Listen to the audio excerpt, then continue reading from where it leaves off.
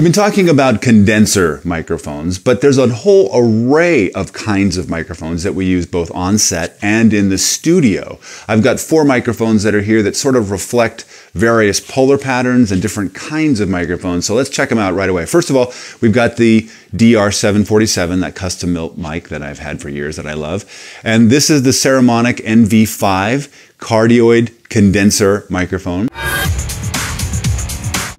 This is the Rode M1 dynamic cardioid microphone, and this is the Rode NTR, which is a figure eight ribbon microphone. What? I know, it's weird, but I'll show you and you'll see why we use it, and it's cool. So let's first start. We've had a little experience with this one. This is our uh, 747. It's a condenser, so it suffers from plosives, and um, it's a cardioid, which means if I go over here like this, I lose it completely. I have to be right in front of it. If I talk over it, or if I talk on uh, you know, off axis, I lose sibilance. And if I come too far back like this, I start losing it entirely. So, but that's the nature of your cardioid condenser.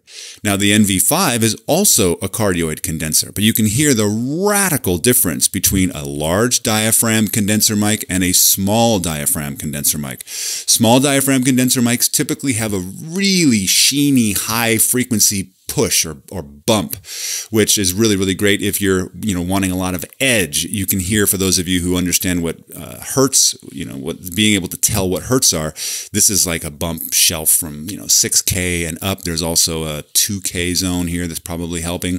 And like all condensers, plosives are a problem. And especially with small diaphragm microphones, you know, if you thought the big diaphragm uh, condenser was sensitive, the small diaphragm condenser is even more sensitive. But this is a wonderful sounding microphone. It is a cardioid, so as I back up, it just completely vanishes. And if I talk off axis, I lose it completely. And this one is even more narrow because it's it also has these slats in it. You can see here like this that help reject sound that's coming from the sides even more than a standard large diaphragm condenser. This is the Rode M1, a completely different sound because it is a dynamic microphone. There's no electronics. It doesn't need phantom power. It doesn't need anything else. It just works. And this is one of those things that's indestructible. And uh, it, it's a it's got a really lovely sound, a nice rich quality for uh, your voice. We use these on stage all the time. And because it's dynamic, it doesn't suffer from plosive problems. I mean, it's in there a little bit, but I'm hitting it way harder. Plosive problems. If I go to the NV5, plosive problems. I did it with the same. It's it's a complete world of difference. Now they cheat with dynamic microphones, and I'll show you here. I'm just going to move this over so you can see. Kids, don't do this at home. You can unscrew this, and inside, I'm trying to do this without getting too crazy. Inside is another windshield, and this is also a windshield. The diaphragm of this is actually in this little red area here, and then the electronics come down from this. So it sort of has a built-in windscreen and another windscreen on top of it, plosives, but it still handles plosives very, very well. This is the Rode NTR. Now, this is the only ribbon mic that we have here. Well, what's a ribbon mic? Well, these have round diaphragms that transduce the sound pressure level into voltage. This doesn't. And you can sort of see this plate right here. It's not actually a plate, it's a ribbon. And ribbons, are, this is a very, very sensitive ribbon and it moves back and forth and creates the voltage the same way. Back in the old days, these were dynamic microphones. I know you're like, well, I thought that was a dynamic microphone. Well, it is a dynamic microphone with a round diaphragm.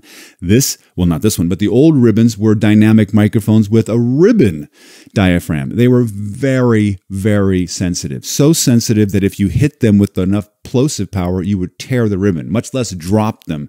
They were also extremely noisy, but they required no phantom power and they were very, very sensitive and very, very warm. You can hear the difference in how beautiful and warm this microphone is as compared to the 747, which has a lot more energy and a lot more, it's a lot flatter frequency response.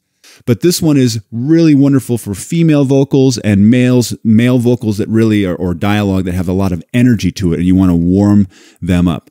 One of the most amazing things about ribbon microphones is that they are fixed figure eight. And you're like, well, what's a figure eight? Figure eight polar pattern means that it picks up in the front and in the back the same. Now, this also has the has the characteristics of a condenser microphone because it requires power, which is like it's this crazy hybrid.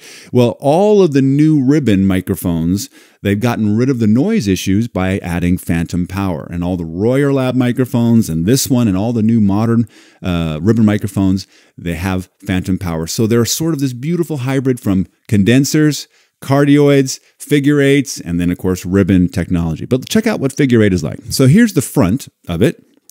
And I'm just going to turn this around here. Here's the back of it. Notice that it sounds almost identical. Check one, two, three, check one, two, three. Check one, two, three, check one, two, three. It has a little bit more warmth to the back, but watch what happens when I go to the side. If I go to the side, I'm completely dead. All you're hearing is the reflections of the room going like this. So this is a figure eight. And if you're doing podcasting, a figure eight microphone can be a really great thing to have because in a pinch, a pinch with a plosive, you can record yourself and somebody else at the same time and get them all.